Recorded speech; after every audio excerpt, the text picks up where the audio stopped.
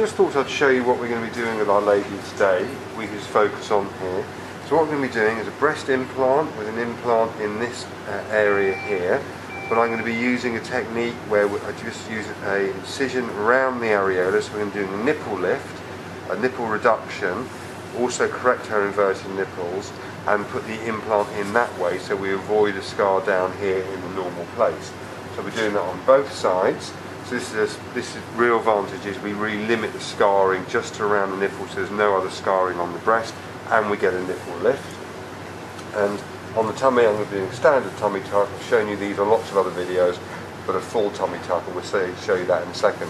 So this is quite a common uh, combination, breast enhancement, minimising the um, scars and a tummy tuck procedure.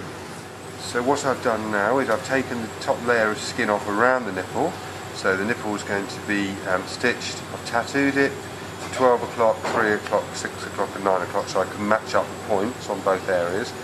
I'm now going to cut through here and make a pocket underneath the breast tissue for the breast uh, implant and then the final stage is just to bring that skin in to tighten up the nipple. I'll show you each stage as we do it. So what I've done is I've created a pocket now uh, just over the muscle, that's the muscle there so you can either go in front or behind of the muscle.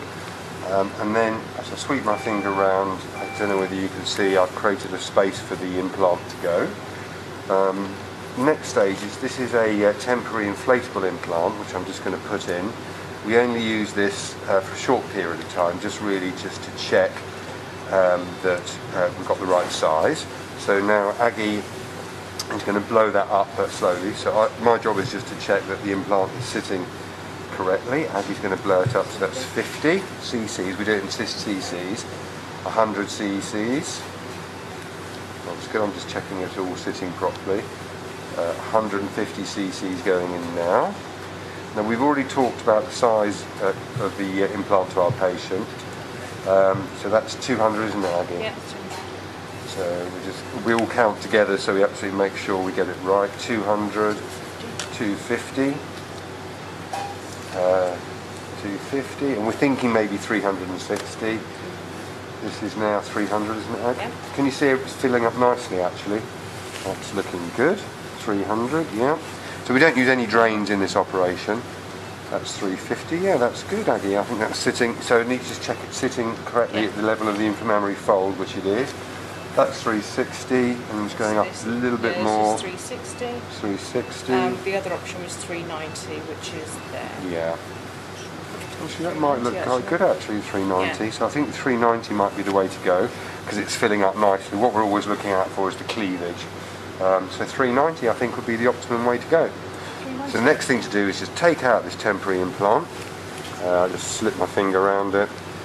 Just going to clean out the pocket there and then we'll put the implant in and I'll show you the next Now I've placed the uh, implant in position. Aggie, could you just hold up there gently? And can you see the implant there?